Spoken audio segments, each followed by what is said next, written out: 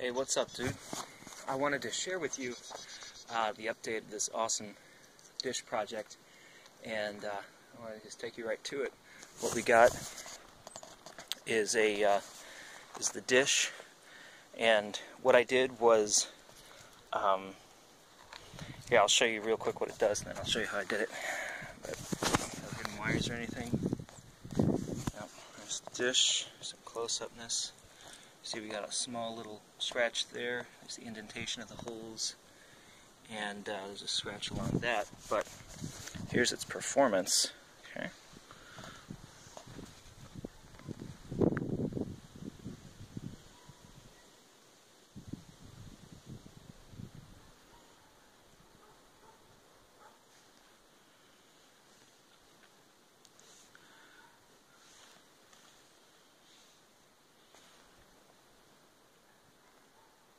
Sorry, it's hard to do this with one hand.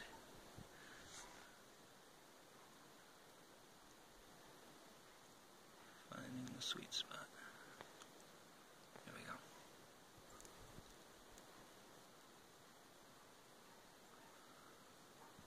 So there we have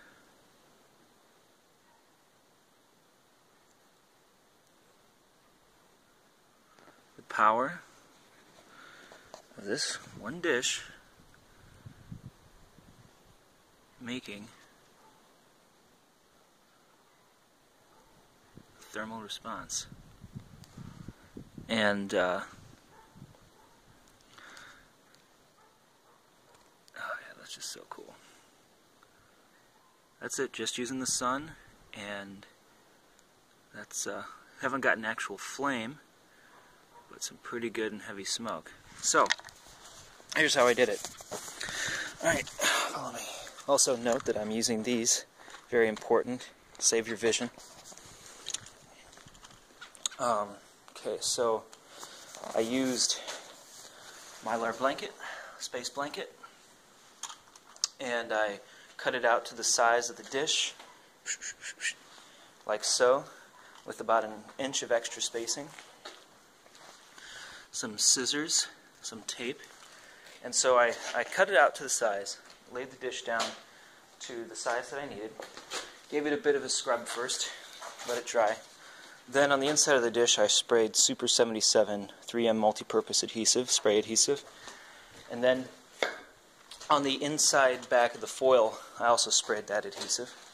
Then I lay it down, lay it down, cut around the dish, and then I tape at the opposite edges just like you saw in the video that we watched, how you tighten up the edges. I didn't have to do all the edges. I only did maybe eight, eight or 12 edges or something like that, eight or 16 edges. Uh, wasn't all the way around because the spray adhesive created the seal. And here we got the wet dry vac. I taped up all, here I can just tell you, I just taped up all the holes in the back except for one and attached that last hole to the wet dry vac. And that sealed and sucked the mylar vacuum formed, as they call it, into into the form of the dish, and then with a little adhesive and a little uh, spray adhesive, vacuum. I mean, boom. Let's see some of that. Hopefully, yeah. So I left one open, and then can go through and put the bracketing on. And the advantage of these things is that you're able to use you're able to use several of these together, pointed all in the same pointed take this creates a cone of energy. So you can take this cone here, set it out in space, and then have another one here, and have that cone come to the same tip and the same tip and the same tip.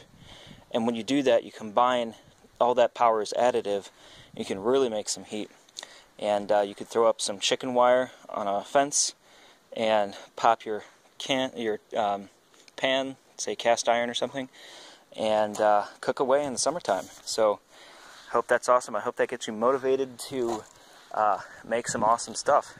Anyway, when I come visit again, I will uh, bring it with me and we can test it out.